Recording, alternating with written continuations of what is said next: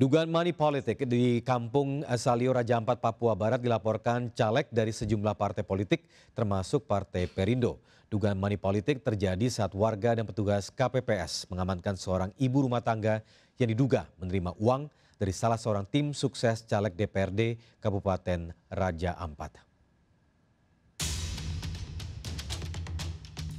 Sejumlah caleg dari partai politik termasuk Partai Perindo mulai melaporkan dugaan kecurangan yang terjadi pada Pilpres dan Pileg 17 April 2019 lalu ke pihak Bawaslu Kabupaten Raja Ampat. Salah satu dugaan pelanggaran yang dilaporkan partai politik adalah dugaan money politik yang terjadi di Kampung Salio, Distrik Waigeo Barat, Daratan, Kabupaten Raja Ampat. Dugaan money politik tersebut terjadi saat warga dan petugas KPPS mengamankan seorang ibu rumah tangga yang diduga menerima uang dari salah seorang tim sukses caleg DPRD Kabupaten dari Dapi 5, Kabupaten Raja Ampat. Para pengurus juga membawa barang bukti berupa video amatir berdurasi 5 menit.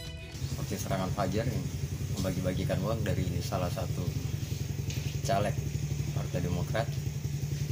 Setelah menerima laporan dari saksi kami, kemudian kami datang ke bawah Ampat untuk melaporkan uh, pelanggaran tersebut.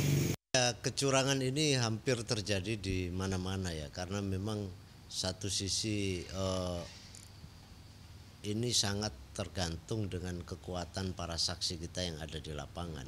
Ya, jadi eh, kecurangan ini memang sangat masif eh, terjadi di berbagai macam tempat dan kita sangat prihatin. Itu semua dalam proses dugaan, yeah. diduga. Nah, nanti di dalam proses pengkajian, klarifikasi, penyelidikan Nanti kalau sudah terbukti baru kita bisa uh, memastikan. Sebelumnya dalam video tersebut seorang ibu rumah tangga diamankan warga karena kedapatan menerima uang sejumlah Rp200.000. Pelaku pemberian uang berinisial DB kabur dari penggerebekan warga, sedangkan ibu rumah tangga diserahkan ke aparat keamanan.